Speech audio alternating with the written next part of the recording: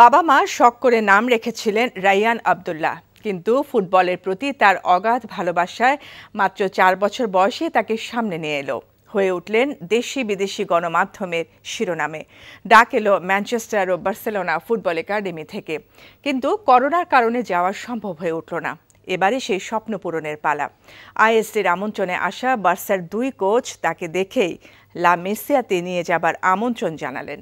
বাবা তাতেই সায় দিলেন। রায়ান আবদুল্লাহ সেই স্বপ্ন পূরণের কথাই জানাচ্ছেন নাসিমুল হাসান।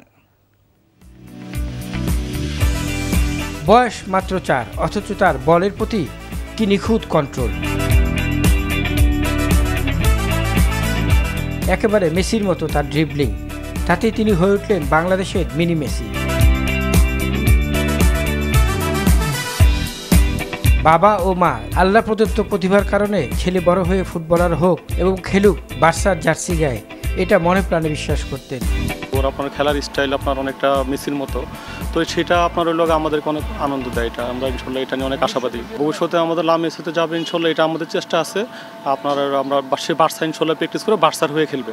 ইনশাল্লাহ আমরা বাবা মা হিসাবে সবসময় পাশে আছি। যত রকম সহযোগিতা করা লাগে, চেষ্টা করলে আমরা করে দেবো আমরা তো অনেক আগে থেকে এটা বলতেছি, ইনশাল্লাহ আপনার হয়তো সময়ের সাথে সাথে আরও কিছু জিনিস দৃশ্যমান হচ্ছে। আজকে বার্সার মতো এক একটা মানে মেন কোচ বার্সা একার মেন কোচ উনিও আসা ওর ভিতরে অনেক প্রতিভা দেখছে অনেক খুব কিউরিসিটি ওকে নিয়ে। অনেক ওকে হাইলি গ্রেডেড গ্রেডিং করতেছে। তো ইনশাল্লাহ ওই হাত ধরে ইনশাল্লাহ বাংলাদেশ ফুটবল অনেক আগে যাবে। তবে রায়ানের বয়স অল্প হলেও নিজেকে তিনি মেসির উচ্চতায় নিয়ে যেতে চান। তার হাত ধরে একদিন খেলুক বাংলাদেশ বিশ্বকাপের আসরে। এটা প্রত্যাশা করেন তিনি। ছোটবেলা থেকে যখন খেলি আমার গড গিফটেড মেসের মতো অনেক স্কিল আসে। যখন মানুষও দেখে বলে আমি মেসের মতো খেলি। আমি একদম বার্সেলোনায় হয়ে খেলব এবং মেসের মতো একজন লেজেন্ড হব। হ্যাঁ ইনশাল্লাহ পারব আমি বাংলাদেশের জন্য একদিন বিশ্বকাপ এনে দিতে। বাংলাদেশ ফুটবলের এক বিস্ময়কর বালক রায়ান আবদুল্লাহ যার ডাক এসেছে সুদূর লামেসিয়া থেকে। আগামীতে হয়তো একেই দেখা যাবে বার্সার জার্সি গায়ে। পরবর্তীতে এদের হাত ধরে বাংলাদেশ ফুটবল উঠে আসবে অন্য উচ্চতায়।